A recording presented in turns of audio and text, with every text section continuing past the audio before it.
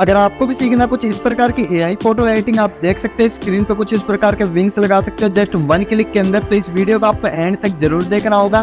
तो चलिए, बिना देरी की इस वीडियो को मैं यहाँ पर कर देता हूँ स्टार्ट सबसे पहले अपने क्रोम को आपको ओपन कर देना है और यहाँ पर आपको सर्च करना है बिंग इमेज क्रिएटर इसके बाद सर्च कर देना है फ़र्स्ट लिंक आपको मिल जाएगी। इस फ़र्स्ट वाली लिंक पे आपको क्लिक कर देना है।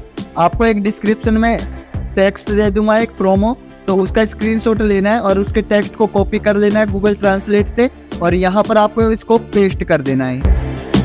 उस टेक्स्ट को यहाँ पर आपको पेस्ट करने के बाद क्रिएट पर क्लिक कर देना है और अपने नाम का कैसे बनाना है तो यहाँ पर मेरा नाम लिखा होगा अंकित सैनी तो उसको क्या करना है, आपको इरेज कर देना है वहाँ से और अपना नाम आपको लिख देना है।